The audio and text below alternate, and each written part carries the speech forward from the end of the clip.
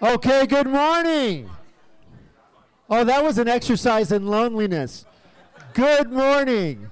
All right. It's, it's actually afternoon, though, huh? It's afternoon now. How was church this morning? Rate our Pastor Gene on a 1 to 10. Yeah.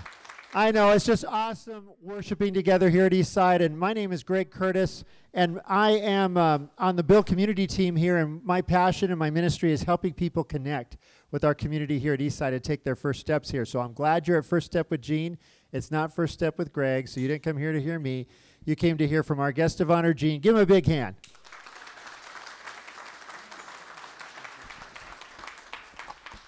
Well, hi, everybody, and uh, I am so glad you're here today. And uh, one of my favorite parts of my role at Eastside is to get to be a part of First Step here. And uh, I'm always amazed with the number of new people that God keeps bringing around Eastside and uh, the fact that you'd hang out for a little bit, uh, of spend part of your weekend here today uh, with me means a lot. And I thought we could get started. I, I just kind of want to do a little survey in the room on something. Show of hands. How many of you would say that you've been at Eastside for four weeks or less? Four weeks or less. Wow, that's amazing. And we're so glad you're here. Let's welcome the four weeks or less crowd. How many would say it's been like maybe four weeks to three months, somewhere in there? Wow, another significant. How many uh, you've come to Eastside uh, since we moved here in this campus November of 2013? Yeah, 2012. And uh, to now, how many in that category? Another good category in that. Yeah. How many ever here because you heard there was free pizza today? And that's the. Yeah, I, I figured that. Uh, I've been at Eastside. I've been the, the pastor at Eastside since October of 2008, and uh, they were looking for a pastor that was sounded like he'd been inhaling helium, and I got the job. and uh, what I what I'd like to do today is tell you a little bit about uh, start with my story a little bit, how I ended up at Eastside as the pastor here. But actually, this is my second time to end up at Eastside, and so I want to tell you how I ended up here the first time, and how I ended up here uh, the second time. Uh, I grew up in the central part of the United States. I grew up in central Illinois and uh, grew up in a family where uh, my mom and dad uh, decided early on that they were going to keep their family small in order to give their kids lots of opportunity. And so they stopped after six children. And uh, I was number six. And uh, actually, they had stopped after number five. And they got rid of the high chair and the crib and all that kind of stuff and uh, five years later, you know, they got this uh, bonus baby in their life. You know, they call that the mistake. I told them it was the unexpected blessing that came into their life. And uh, so I'm the youngest of six kids. And I know this has not been the experience for a lot of you in this room, and, and uh, we all come from different kinds of families and backgrounds, but I grew up in a family with a mom and dad that marked my life in incredibly positive ways, and I thank God for that. And and uh, I'm, grateful for that. In fact, my dad was a pastor. And uh, any other pastors' kids in the room today? Yeah, I'm the only one, right? And uh, so sometimes that's a good thing. Sometimes that's a bad thing for people. If you've known some pastors' kids growing up, sometimes they kind of react against that or rebel against that.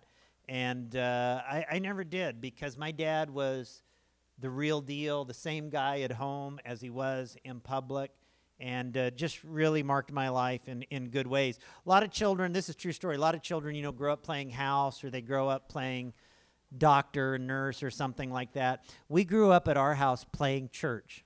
Believe it or not, I, I had three older sisters, and they would get in the living room. They'd do a little worship team, you know, and a little worship time. And one of my brothers would say a prayer, and I'd give a message, and then we'd hit mom or dad four or five times with the offering plate. Uh, before they realized what was going on. It was a very profitable experience for us uh, growing up. Uh, but that was the home uh, that I grew up in. And my dad never made a great deal of money, but he was very generous and always made sacrifices uh, for his kids. And one of the sacrifices that he made over the years, and that if you're around Eastside at all, you'll hear me talk about from time to time, is uh, we have a family cabin on a lake in northern Minnesota where I still go every year.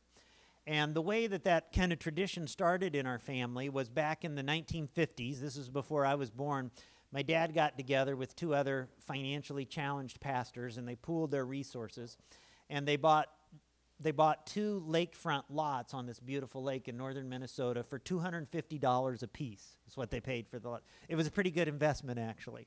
And then they were so poor they couldn't afford to build much of a cabin and they bought for $500 what was called a cabin kit. And uh, they were so poor, this is true, I'm not making this up, they couldn't afford a level when they built that cabin.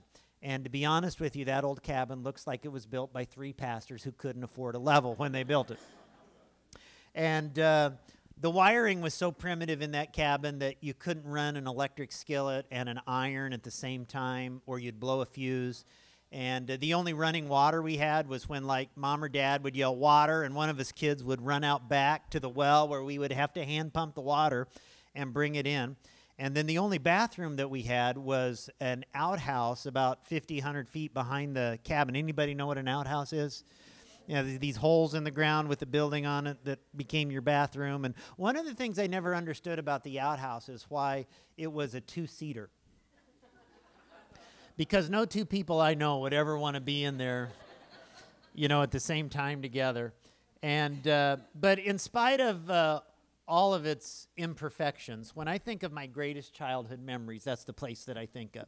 And uh, that's where I'd have my dad, you know, to myself for a few weeks. And uh, he taught me to water ski and to swim and to fish and to canoe and to drive boats. And we would have, uh, at night, we had this fireplace, and we'd often gather around the fireplace at night and roast marshmallows. And we would have prayer as a family, and we'd have uh, devotions as a family where we'd read the Bible and talk about that a little bit. So it was just a fantastic experience. And when I was 14 years old, I'd been out fishing with my dad one day up in northern Minnesota and also with my grandfather. And we came back, dad wasn't feeling well. And uh, wasn't feeling so well that night. We had to take him to the local hospital, little little town of just over 2,000 people in Park Rapids, Minnesota. So you can imagine what the hospital was like. And found out that dad had had a massive heart attack and uh, his condition worsened to the point that um, four days later it became necessary to transport him from that little tiny hospital in Park Rapids, Minnesota, to the big hospital 90 miles away in Fargo, North Dakota. And so the family all went to wait for the ambulance to arrive uh, with dad. And my brother Mike and I went back to our family cabin to pack some things, and then we were all going to join the rest of the family. And so we're back packing, and we see this familiar car drive up the road, and it's my dad's best friend. And he gets out, and uh, I'll never forget it. He put one arm around me just like this, and he put one arm around my brother Mike just like this, and he said, Boys, I've got some good news and some bad news for you today. He said, The good news is your daddy's gone to heaven today. And he said, The bad news is he isn't with us any longer. And just like that, my life changed. And many of you, you know what it's like when there's a circumstance in your life where just like that, everything changes. And uh, while I had grown up in a Christian home and I'd put my faith in Jesus at a young age, this was like the first real test that I had ever had of my faith. You know, where I had to figure out do I really believe this stuff? Is this you know, do I have the real deal? Or have I just kind of been coasting on the coattails of my family? And a few hours after dad died, we're all packing. We're getting ready to drive back. We lived 700 miles away in the state of Illinois, so we're getting ready to go back to prepare for his funeral, etc. And uh, my mom asked me if I would go down the road about a half mile from our cabin. There was a little convenience store where, over the course of a summer, we'd buy newspapers and milk and coffee and things like that, and they would just keep a tab you know, this is back in the old days. They would keep a tab, and then uh, at the end of the summer, we'd just go pay off the tab. And so, uh, mom asked me if I would go pay that off, and I said sure. So she gives me a wad of cash, and I'm walking down this gravel road about a half mile from our cabin, and everything about my life I feel like got defined that day on that walk down that road, and. Uh, I remember everything about it in vivid detail. I remember the tall pine trees on each side of the road.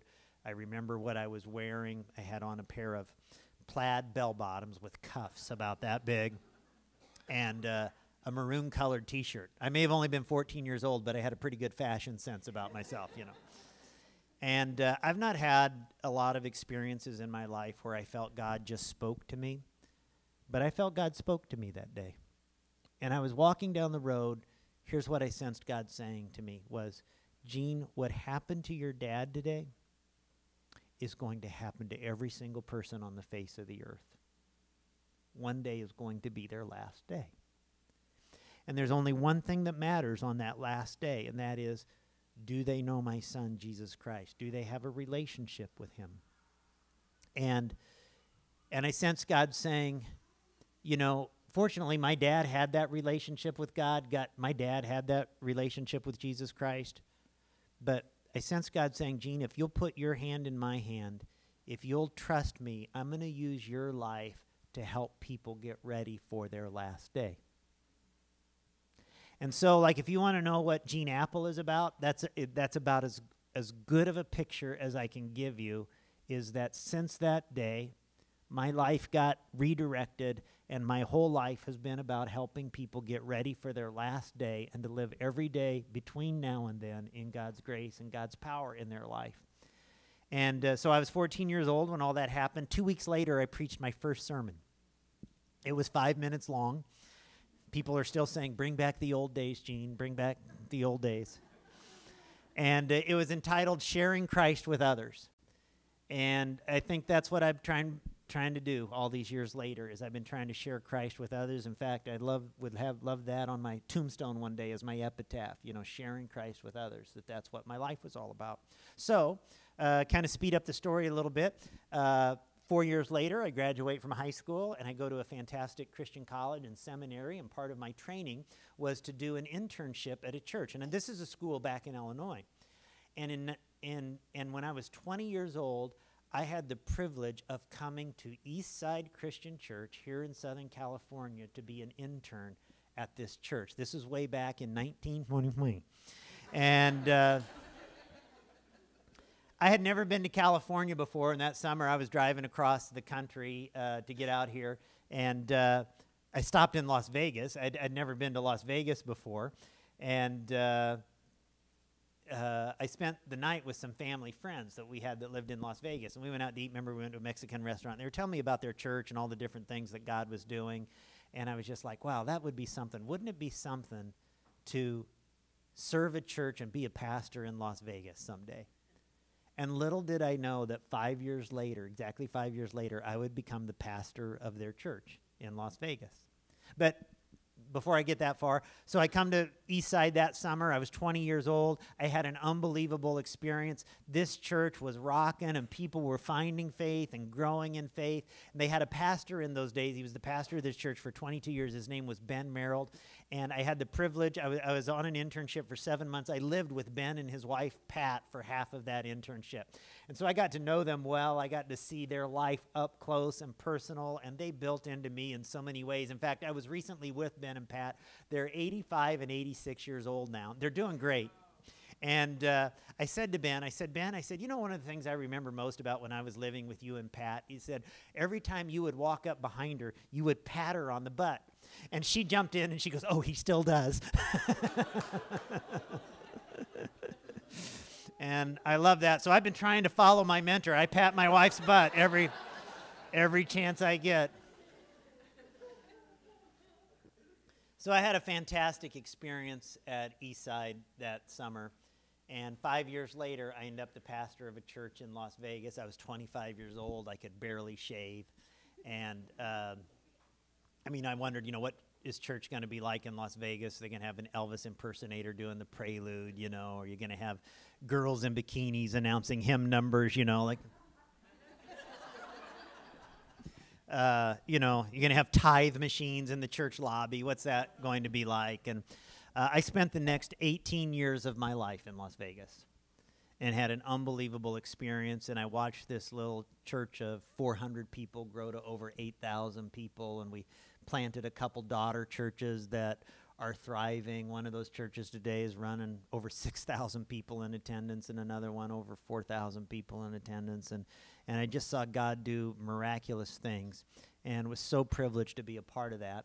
And after 18 years in Las Vegas in 2003, I got invited by a friend of mine, Bill Hybels, who's pastor of one of the largest churches in the United States at Willow Creek Community Church in Chicago, to go and be a part of that church, and, and Bill wanted me to help with some of the challenges that they were facing there. In fact, I met a girl right over here who grew up in that church today and is in Southern California now. She thought she had escaped me, but uh, and uh, so I spent five years there. It was a great experience, but I just felt like I wasn't in the center of my calling of what God wanted me to do with my life.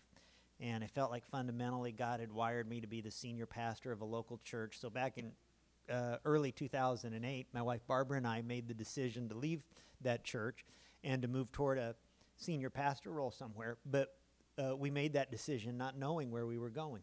We were asking God to lead us. And uh, so, over the course of the next four or five months, we considered a number of different opportunities, prayed about them, and finally had reached a point where I, I thought God was opening a door and calling me to go to a church in St. Louis. And uh, in fact, we'd made several trips there, and we even got down to where we made the house hunting trip there. And I said, I'm going to come. I, I, I said, I'm going to come.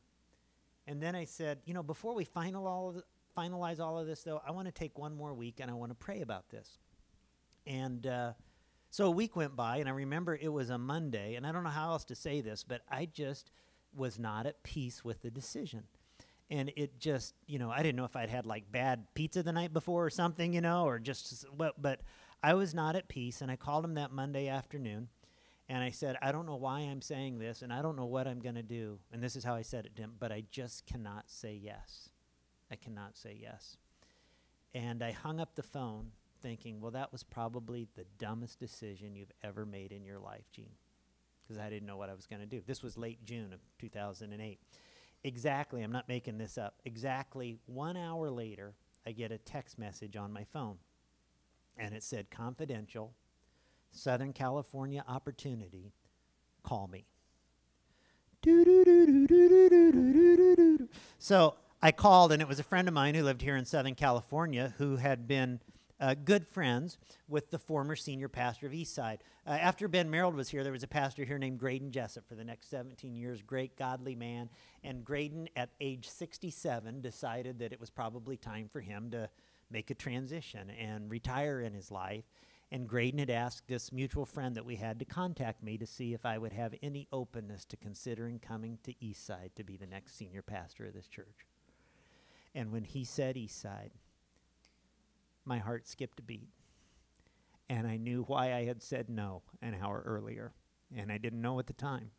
And I just felt like God had called me here and to be able to come here and be a part of the next chapter of Eastside was very exciting to me. And I love Southern California and felt a geographic call here. I mean, the whole world is in Southern California. Los Angeles Basin, we speak over 200 languages in the Los Angeles Basin. I mean, the whole world is here. And, uh, so that's how I ended up here the first time, and that's how I ended up here the second time. And uh, to tell you just a little bit, that's a little bit about my story. The East Side story began in 1962. And it began meeting, the church began meeting in a warehouse in Fullerton. And then a few years later, they bought property at the corner of State College Boulevard and Yorba Linda in Fullerton, which is right across the street from Cal State Fullerton. And that's where Eastside spent most of its first 50 years, well, its first 50 years until it moved here in November of 2012 to this property. And you say, well, how, how, did, how did all that happen? Well, let me tell you a little bit about that journey. When I arrived at Eastside, uh, got all the key leaders in the church together and staff members, and we started praying this prayer. And the prayer that we prayed was, God, what do you want Eastside to look like by the year 2012? You say, why would you pray a prayer like that? Why 2012? What was significant about that year? We knew that would be Eastside's 50th anniversary year. And I don't know, you know, what you all know about the dynamics of the life cycle of typical churches and things, but typically when a church turns 50, most churches have had their best days already. Most churches, when they turn 50, are kind of looking back at the past, remembering the good old days is better than they really were. They're really not looking ahead. Now, there are certainly exceptions to that.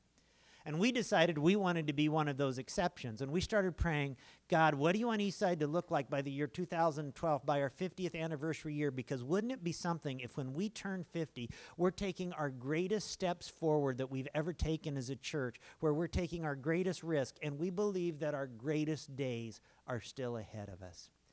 And so we started praying, what do you want Eastside to look like? And we felt God leading us not to, to do something new, but really something very old, to re- recapture the dynamics of the first church that we read about in the New Testament of the Bible. And it came down to three things.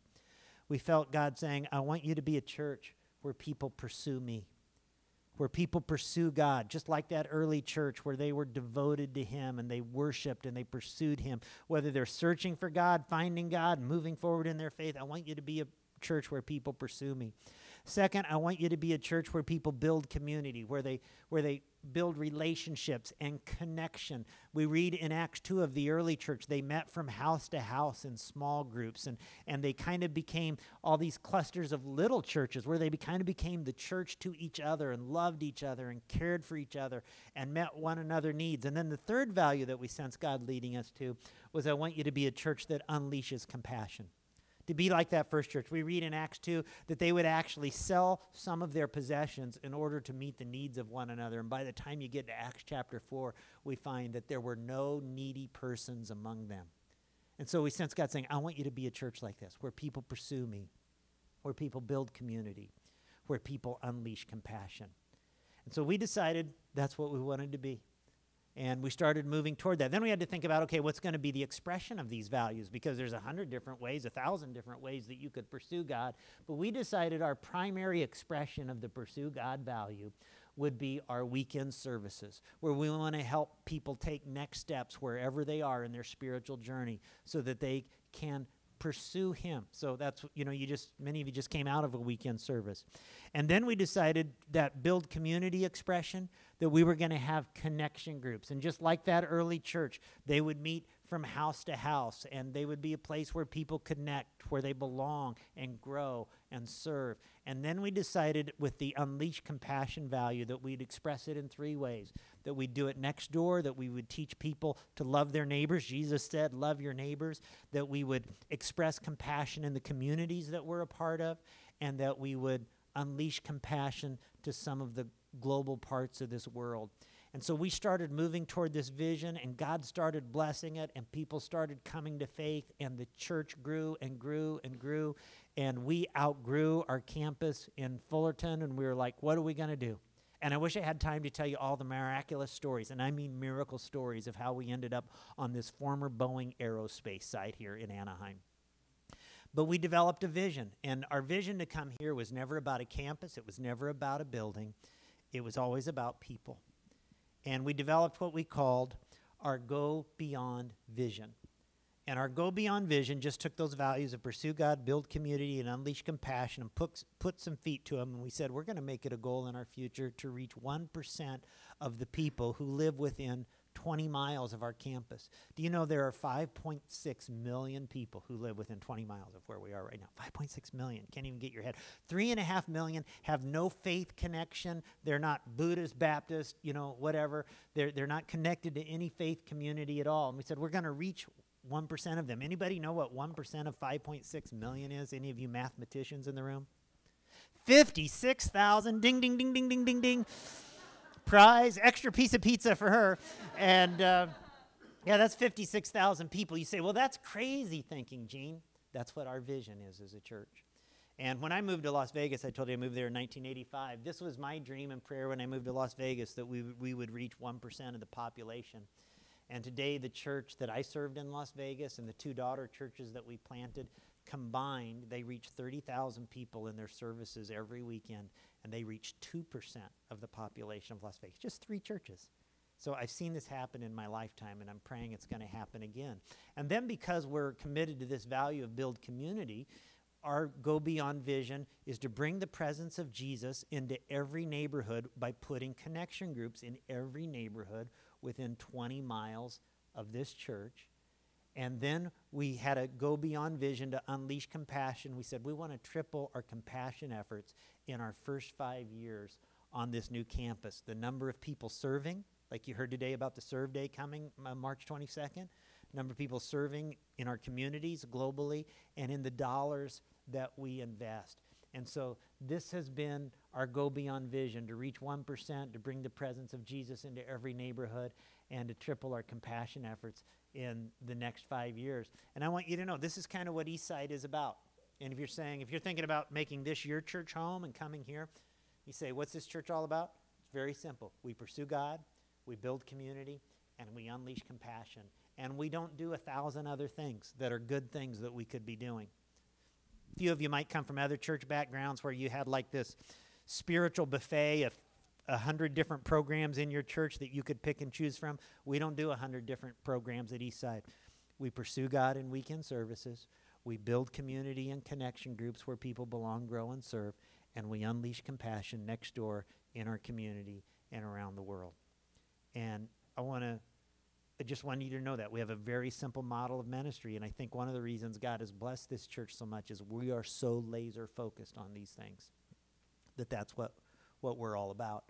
And uh, so, like a year ago, in compassion, uh, Eastside gave away $1.5 million in compassion efforts uh, last year. This year, we've given away $2.2 million in compassion efforts outside of ourselves. Our goal is when we hit that five year mark that we're going to be giving away four and a half to five million dollars a year in compassion efforts. We're, but we're also serving. And so we're trying to mobilize over 2,000 people for this serve day. We do those a couple times a day locally in our communities. And we have six global compassion trips this year where we'll have hundreds of people traveling to Kenya, to Chile, to Thailand, to Mexico. And uh, I just want you to know we've made it a goal. If you choose to make Eastside your church home, we've made it a goal to challenge every able bodied Eastsider, everybody who's physically able to go on a global compassion trip sometime in the next five years. You say, that's crazy. Why would I ever do that? I'm telling you, if you're here, we're coming after you on this one, okay? We're coming after you. So, this gives you a little bit. You've heard my story, you've heard a little bit of the East Side story. I want to talk to you a little bit about your story now, okay? And uh, I want to bring a line up on the board here, and I want you to think about this line here as kind of your life. It's got a first day, it's going to have a last day. I told you my goal in life is to help people get ready for their last day. But think about this kind of in terms of your spiritual journey. And somewhere in the course of your life, somewhere in the course of your spiritual journey, you're going to encounter the message of the cross of Jesus Christ and God's Son who came and gave his life for you.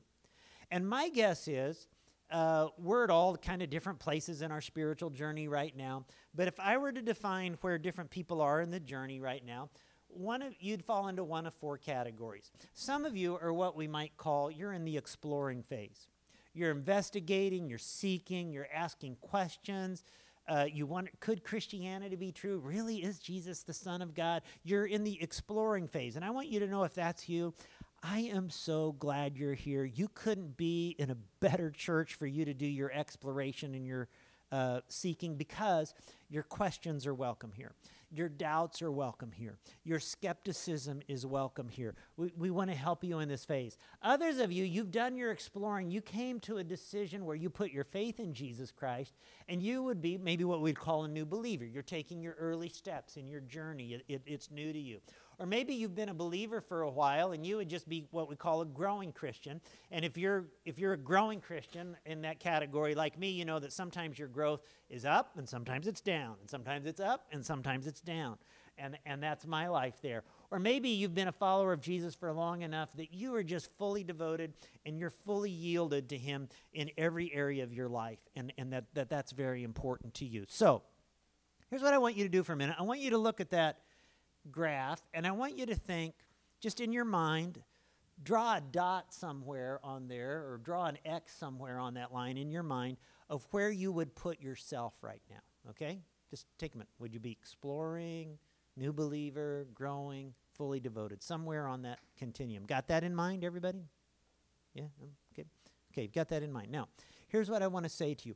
Our hope and prayer as a church, our greatest desire is that wherever you put that X on the line right now, we want to help you take a step forward.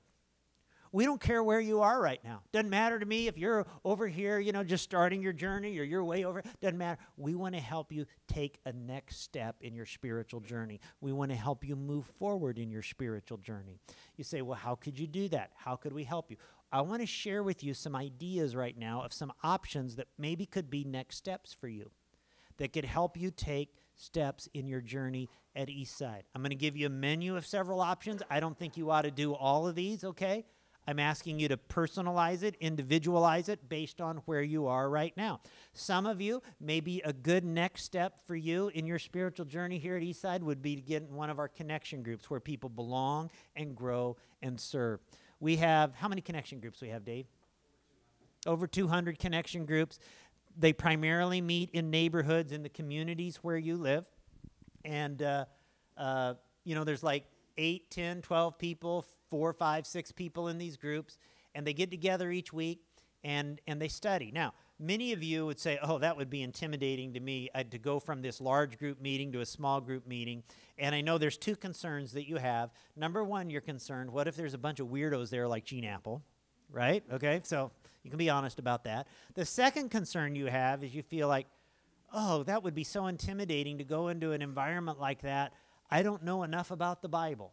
I don't, I'd, I'd, be, can I just let you in on something? 100% of us don't know enough about the Bible, okay? All of us feel that way. We're all in the same boat. And you're worried about, you know, you're going to get into a, a group like that and somebody's going to say, hey, let's turn in our Bibles to second hesitations. And you're going, I don't know where that is, you know.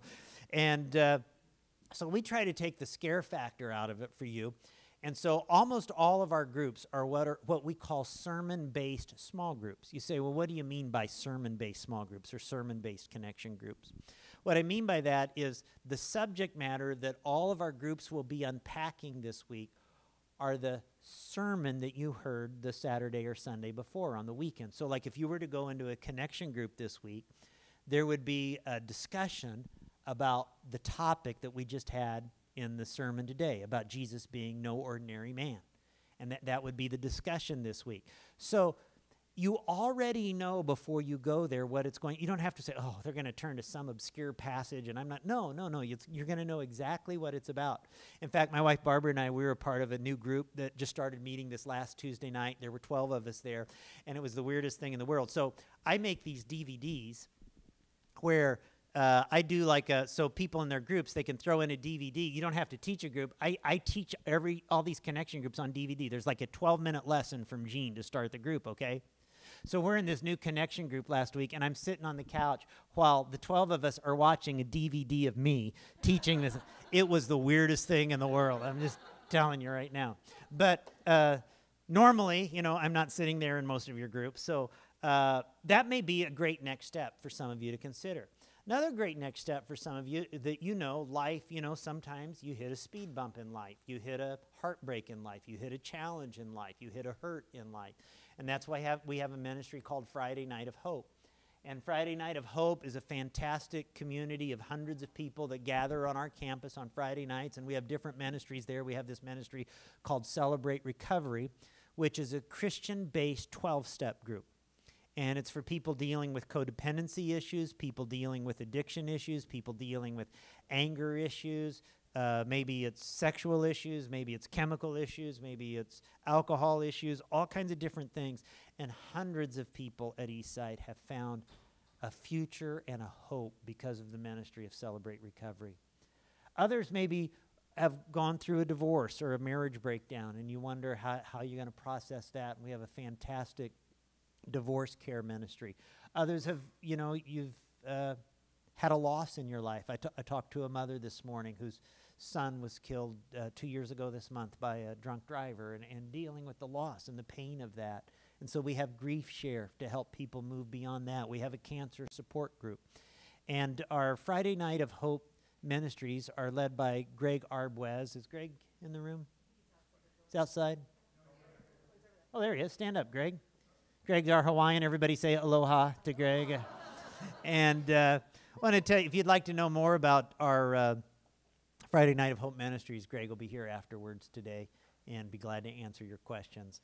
Uh, tell you a little bit about Greg's story, and I do it with his permission. Three and a half years ago, he walked into Eastside for the first time, and he was a broken man. His wife had just left him, and he didn't know what he was going to do, and he really didn't have his own personal relationship with God at the time, and he was broken. And uh, his in-laws, of all people, invited him to Eastside, and uh, he heard this nasally voiced pastor talking that day.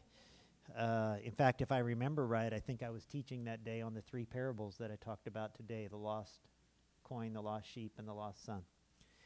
And uh, Greg, in the weeks ahead, found a genuine relationship with Christ, and he got became a part of the Friday Night of Hope ministry. And over the course of time, not overnight, doesn't happen overnight, but over time, he found healing and he found hope, and God put his broken world back together again. And today, he's the leader of our Friday Night of Hope. And I say he's the poster child for Friday Night of Hope ministry right there. So, uh, Greg's a great one to know. And I, I, forget Dave Higgins back. Stand up, Dave. Dave's our executive uh, director of our Build Community Ministries. If you want to know about how to get in a connection group, he's here today. He's an excellent one to talk to about that. Now, another way, you, you could do a connection group, you could do Friday Night of Hope. Another way that some of you might want to consider is becoming a volunteer at and serving in some way. We have 15 or 1600 volunteers at Eastside. Amazing group of people. It takes three or 400 volunteers just to do our weekend services. And uh, when you become a volunteer, something changes inside of you. Instead of like sitting in the grandstands watching the game go down on the field there, all of a sudden you're one of the players down on the field and you go from talking about that church that I attend to my church. I'm a part of it. You say, How would I learn about volunteer opportunities around here? We do a tour that we call our All Access Tour and it's a behind the scenes tour. It takes place, we have a Saturday night version of this, we have a Sunday morning version of this, and it takes place uh, where you can go and you can see all kinds of things in all areas of our campus and learn about ways that you, you didn't even know went on at Eastside that happened there.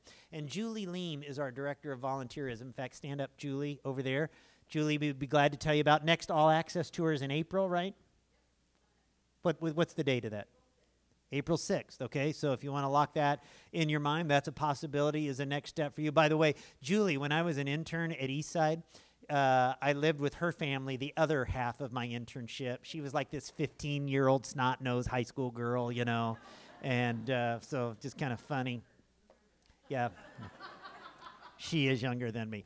So, uh, no doubt about that. Now, uh, so that's a great way. So, we talk at Eastside, you know, about taking next steps. We talk about first step, you know, uh, first step with Gene, another opportunity I went to. Next step, sometimes next steps is a connection group or it's serving for you. And we also have big steps that we talk about. A big step for some people might be a global compassion trip. That's a pretty big step. Or it might be what we call our Eastside Institute for Spiritual Growth and Leadership. These are college level classes that we offer in co- cooperation with Hope International University. They're fully accredited. Uh, Eastside Institute meets on Tuesday nights. Charles Stoiku is the director of our Eastside Institute. Charles, where are you? Stand up right there. Charles is in the room. And if you want to know more about that, you can ask him. And uh, that may be down the road for some of you, but if you'd like to learn more about it, uh, Eastside Institute would be a great, great step. Now, if I could wave a wand today, and if I could say, here would be my pastoral wish for every one of you to take a next step in your life. The next step that I wish you would take, I wish every one of you would take, would be what we call our first step experience. You say, Well, I thought I was at first step. You are. You're at first step with Gene. But we offer beyond this what we call our first step experience at Eastside and a new uh, first step experience is beginning next weekend. There's a Saturday night version at five. There's a Sunday morning version at 9:30. So it takes place during services. There's children's ministry going on if you need that, and it and it goes for seven weeks. And some of you just started hyperventilating when I said seven weeks right now, right? Okay.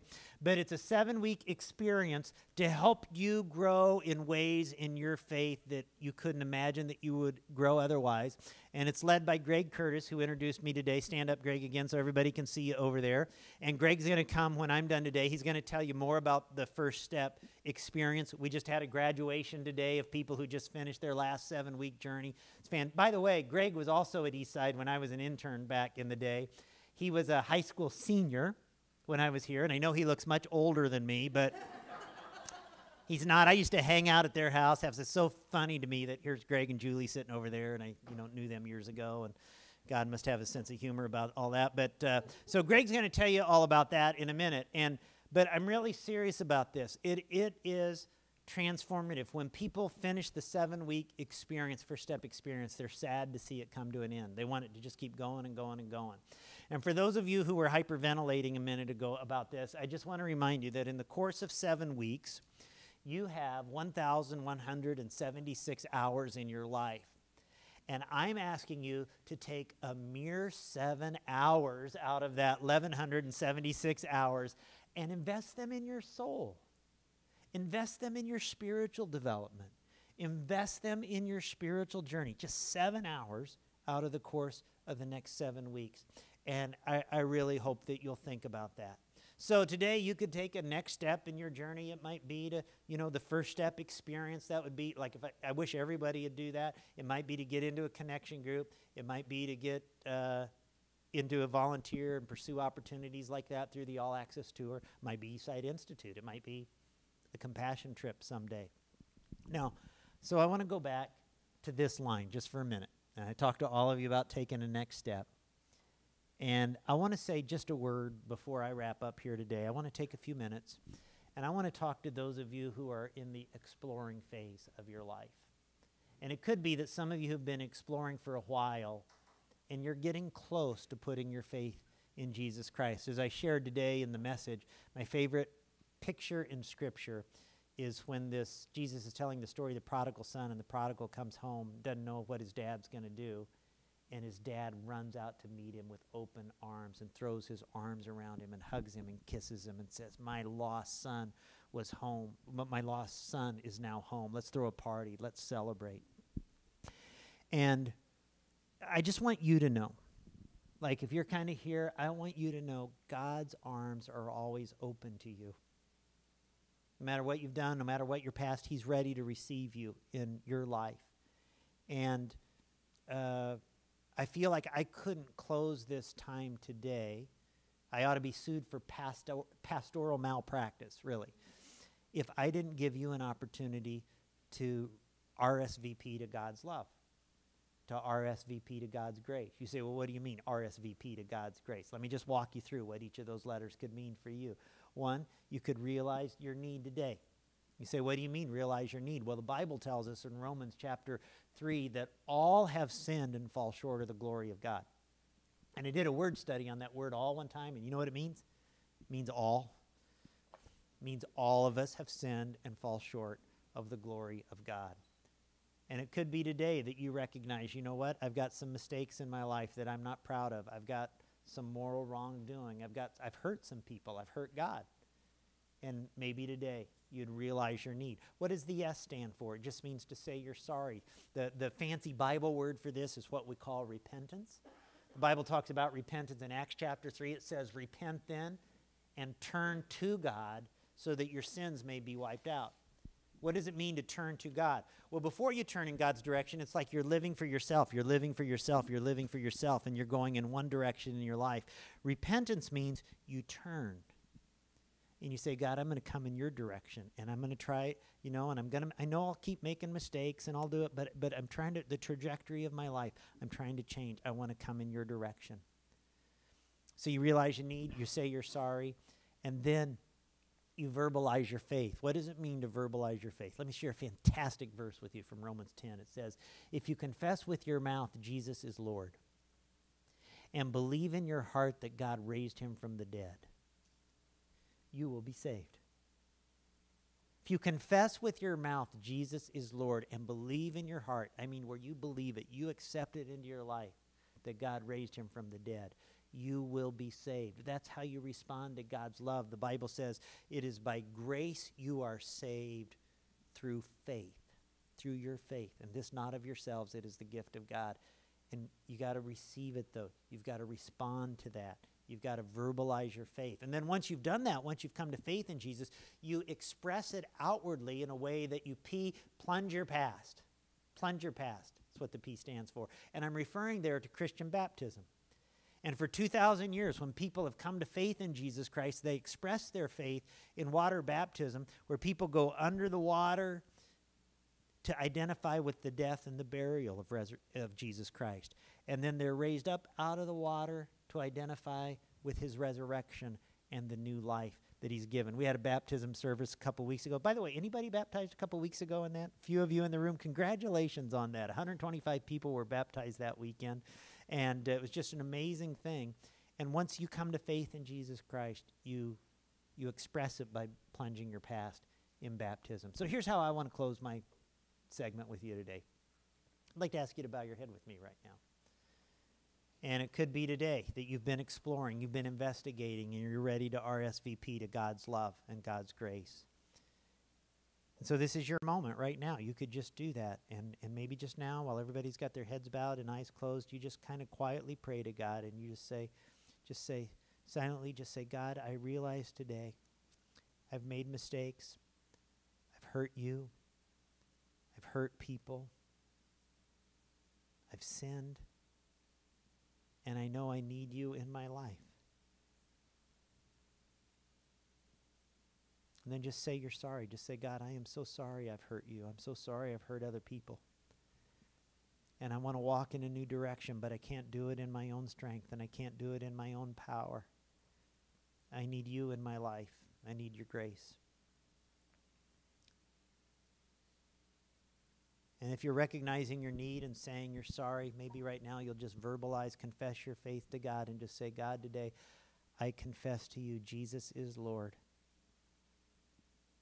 And I believe in my heart that you raised him from the dead.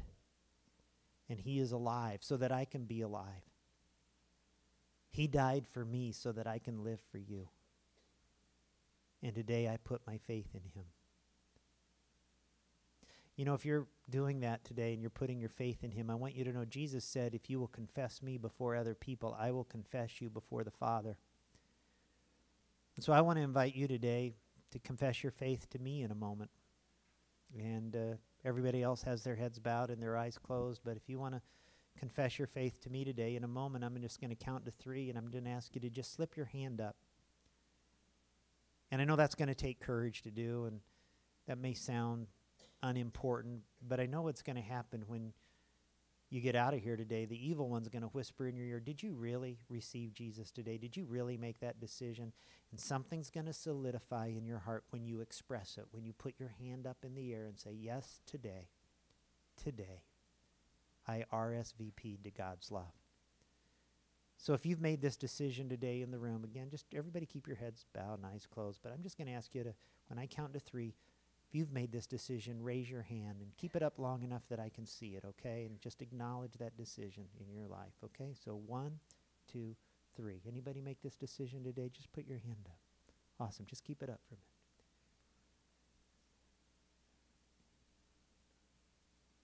That's tremendous. Okay, you can put your hands down. Congratulations. Nine people in this room just made the most important expression of their life, putting their faith in Jesus Christ today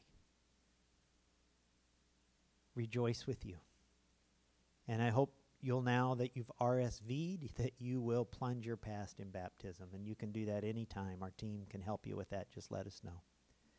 Well, God, I thank you for the privilege of being a part of these moments today. I thank you for these people. Thank you for the fact that you're stirring something in their life that they obviously are on a spiritual journey and they all want to take next steps. And I just pray that you'll lead all of us to what that next step is. I pray that many in this room today would be open to the first step experience, God, and what you want to do there. And whether it's in a connection group or serving or other ways, may we always be open to just engaging with you and your activity in our lives. God, I especially thank you today for these people who just made the most courageous decision of their life and who said yes to Jesus Christ, who confessed him to you, who acknowledged him to me, and, and God, I just pray that they'll have the courage now to express it in baptism, to do what thousands of us at Eastside have done and just express our faith in baptism, identifying with the death and burial and resurrection of your Son. And just as the angels in heaven are rejoicing with their decision, we're rejoicing with their decision today, too, God. And we lift all of our prayers now in your amazing, extraordinary Son's name, Jesus Christ. And everybody said, Amen. Well, as you heard me pray a moment ago, there were nine people in this room today that just shot up their hand and said, I want Jesus. And we celebrate with you. We congratulate you. And uh, I want to thank you again for the privilege of just hanging out today and being with all of you. And I'm going to ask Greg to come up, and he's going to give some uh, instructions here, tell you a little bit about the first step experience. So take it away, Greg. Let's give Gene a big hand. Thanks for sharing with us, as always. Okay, well, I'm here to kind of talk about this whole uh, first step experience thing. Before I do, I'm going to have your table host, w- which they've done a great job visiting with you, haven't they? They are the welcome wagons here, and uh, yeah, they're worth they're worth a little encouragement. They're going to hand out the colored sheet that looks like this to you, and I want you to take a look at it beginning at the bottom. The bottom. For many of you, especially some of you who just raised your hands to make that choice to RSVP to God, your next step literally is baptism. And so at the bottom, if you're a person who just knows that you've been wanting to be baptized for a long time, or this is all fresh for you, or you're not sure if you want to get baptized yet, you want to learn more, you have some questions, or you want to schedule it, whatever. In the corner, chewing his food, is Jim Swaney. He is all things baptism here at Eastside. And he's going to be available over there, I guess, behind the food. You're going to separate yourself from the food? You do know, you do know there's no food there. Okay, just making sure. He'll, he'll be over there, um, available for to answer your questions about baptism because they could be many and scheduling and all that kind of stuff. Moving up the sheet now to the middle. Every one of us, as Gene pointed out, if we do not need one of those groups at Friday Night of Hope, every one of us could probably at least name three or four people in their lives who could use one of those. Every one of us. You are a conduit of God's grace when you can help plug people who have need into resources that will meet that need. And if you have questions about Friday Night of Hope, again, Greg Arbus will be standing by his display over there, Friday Night of Hope. Please beeline when we're done over to him and ask all the questions you want about these ministries because you could change a person's life and bring much healing through them. Now, on the top, we have the All Access Tour. Now, this is an incredible event. Julie, who you met earlier, that uh, Gene pointed out, is going to be behind that kiosk on your way out. She can answer your questions about the All Access Tour, the next one being April 6th. But I'm here to tell you is that you have not experienced what goes on on this campus during a service till during a service you, while it's going on you go into the green room you go behind that huge television set screen and see it during a service and see this stuff. You go to the kids area the compassion cafe. You go and you in the teen service and you see uh, the parking lot where everybody how it's all happening during a service. And you get to have conversations, see how how God has made you uniquely can can further what's going on here, because there's so many opportunities to serve and make a difference, and that All Access Tour exposes you. But here's the good news: if you become part of the First Step experience, that is part of the fifth week, is you get your own special private tour, so you don't have to sign up for that apart. It's an incredible thing, but. Don't listen to me talk about the first step experience. I'd like you to hear from people some of them may be your table host, who knows, who might be telling you a little bit about how they encountered the first step experience.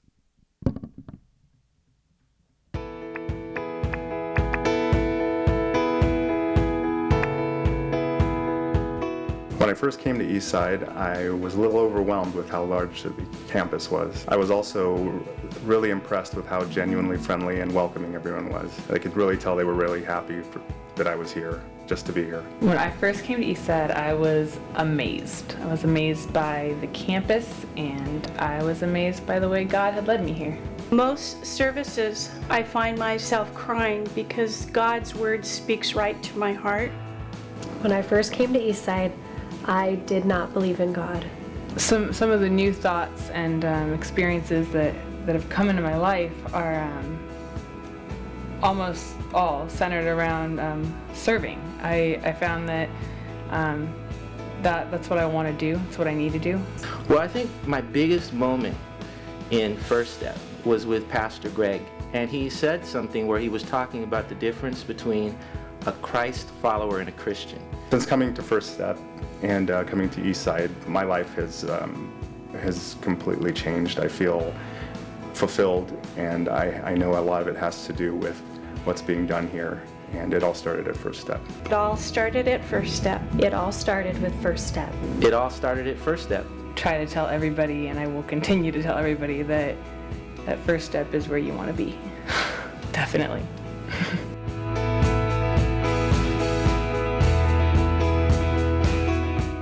Okay, so to explain to you a little bit about what goes on in the first step experience, um, turn your, your little sheet that you got handed over. There are seven areas of following Jesus that we do training in, and they and also this this thing also answers those questions that are listed at the bottom. In order to give you a more fully ordered picture of what these seven weeks in the first step experience is like, I want to I want to do a little survey. Raise your hand if you have ever heard of the Grand Canyon. You've heard of it. Okay, most of us. All right. Raise your hand if you have ever been to the Grand Canyon. Seen it with your own eyes. Okay, about 80% of those who raise their hand the first time. Raise your hand if you've ever whitewater rafted it. I always love that. Yeah, about four of us. That's pretty good. Usually I'm the only one.